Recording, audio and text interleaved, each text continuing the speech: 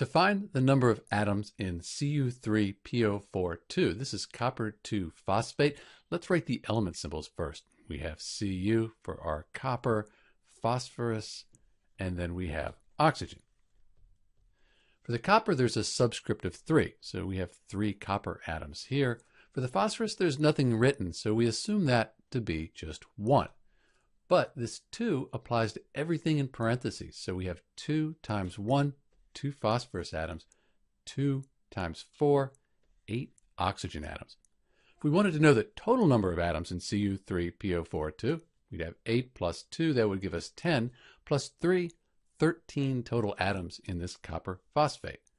Sometimes you'll be asked to find the number of, for example, phosphorus atoms in one mole of copper 2 phosphate. What you would do is multiply the number of phosphorus atoms times Avogadro's number.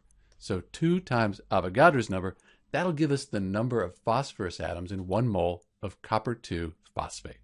This is Dr. B, and thanks for watching.